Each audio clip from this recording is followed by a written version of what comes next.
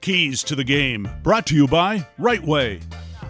Houston is coming to town for a Friday Night Light matchup here at Arizona Stadium. Coach Brennan, before we get to that matchup, though, I want to ask you about the bye week. What were some of the biggest wins that the team experienced? Well, I think the biggest thing is it was just had to get back to some fundamental football, right? Blocking, tackling, you know, just like the stuff that showed up in our last game that wasn't good enough. And so we spent a lot of time on that, a lot of uh, practice of, you know, going ones versus ones and, you know, elevating the competition. It was a great week for us.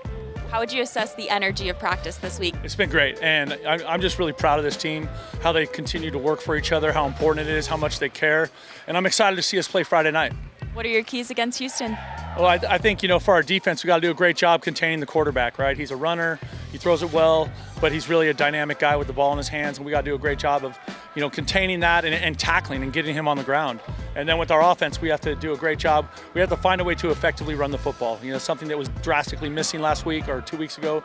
We got to find a way to run the football, and then we got to get the ball in our playmakers' hands, and that's going to give us a chance to, to like how it feels at the end of the game.